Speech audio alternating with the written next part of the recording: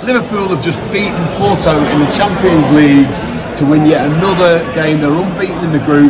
Fantastic performance, very professional performance. A bit of a nothing game, obviously. Steve, what did you think of it? Um, well, I mean, if you look at the whole group, really, five five games, five wins, 15 points. It was pretty routine and it was strange to come tonight because it was a total dead rubber. Not only were we through from the group, we'd already won it. So it was a little bit of a strange type of game to come to, and I think it was a little bit flat for that reason. Yeah, I mean, he, he'd actually named fairly strong lineup, which to our surprise, don't get me wrong, there was Tyler Morton was in there, and Konaté come in, and he, but he played Salah and Mane, you know, and Minamino came in, obviously, you know, so he, he, he'd obviously gone at it with the intention to win the game. I mean, what, what did you think? The First half in particular was particularly flat, wasn't it? Yeah, it was.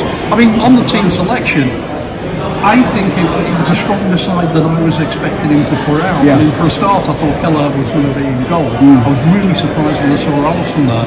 I was really surprised when I saw Salah, Salah and Mane uh, both in the, in, the, in, in the side. It was a bit flat in the first half, livened, livened up. They could have scored the odd goal. Yes, well. particularly in the first Yeah. half. Not much in the second half, but particularly in the first half. But we, we got two goals that were ruled out by, by VAR. If you watched the game, you'll have seen that.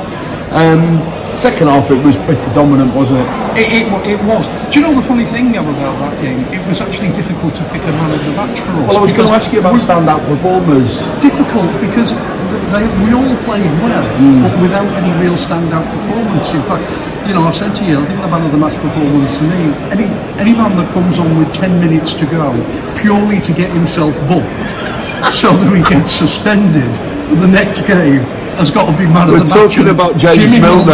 yeah, that. James Milner. We, we, we suspect Steve had read something where we suspect that he'd come on to get himself booked, and it certainly looked like that. Tyler Morton didn't disgrace himself at all, did he? No, pretty solid, I thought, in A midfield. lot of trust shown to him in the number six role. Absol- absolutely, w- without being out particularly outstanding, you knew he was there. He was where he should be. He was doing his job. He was doing a pretty solid job, I thought. Thought Oxlade Chamberlain had a good game as well. Good game. Yeah. And uh, Ox has done well because that, that that's that's not just one good game. He's he's putting together a run of good games. We, we're hoping he's got a bit of rhythm now. Thought Thiago was good as well all game. Scored a fantastic goal. That's that, that, that's that's right. I think the other thing is, I mean, Big Div came on. We're going to need players like that come January. Certainly. Um, I'd like to just mention Andy Robertson was outstanding when he came on. It looked like the old Andy Robertson. He was like a man possessed. Yeah, he was. Yeah, he, was, was. just running Yeah, everywhere. no, it's fantastic. everywhere. So, I mean, it, just wrap this up. uh, Man of the match for you. Oh, James Milner. James Milner. James Milner. Literally for the shit out. of Hey, him.